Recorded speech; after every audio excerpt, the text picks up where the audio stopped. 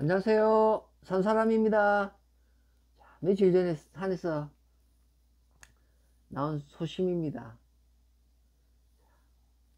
이 소심은 그 고생을 많이 해가지고, 그래가지고, 물속에 이렇게 담가 놨습니다. 그랬더만은, 이 소심이 물속에서 이렇게 피었습니다.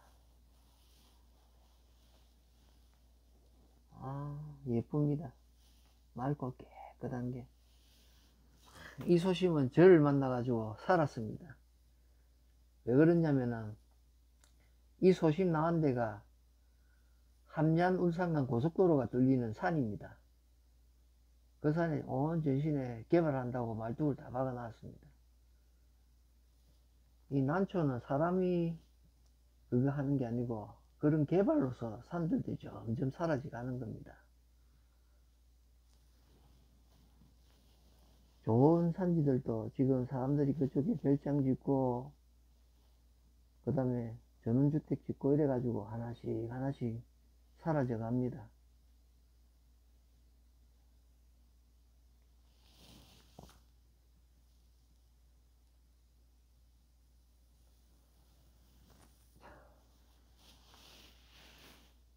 이 난초는 저를 만나가지고 살아나가는 겁니다.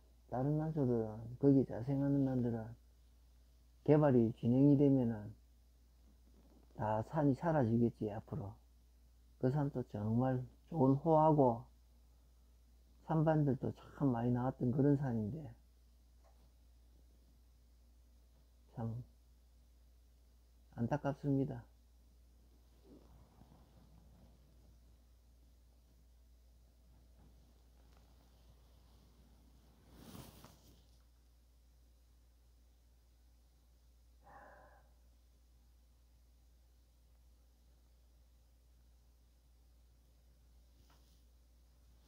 그 환경에 대해서도 모르는 사람들이 뭐 어쩌니 저쩌니 했었는데 제대로 알고 이야기를 좀 했으면 좋겠습니다.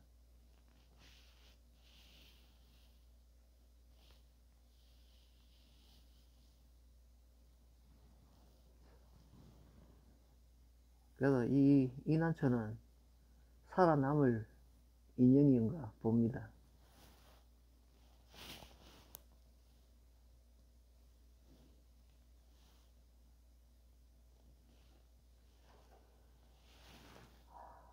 만약에 이난초가 제가 그쪽을 안 가고 돌아서 만약에 하산했다면 아마 이난초도 개발로서 아마 세상에 나오지는 못했을 겁니다.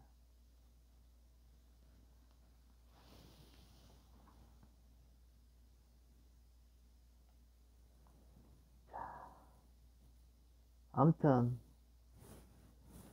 코로나로 이번에 작년까지 확진자가 나왔습니다. 모든 분들이 건강 잘 챙기시고 항상 마스크 착용하시고 될 수 있으면 밖에 나가지 마시고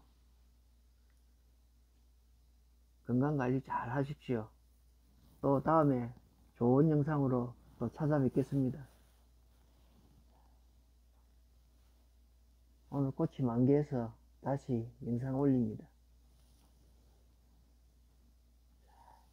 건강하시고 행복한 시간 보내십시오. 또 다음에 뵙겠습니다.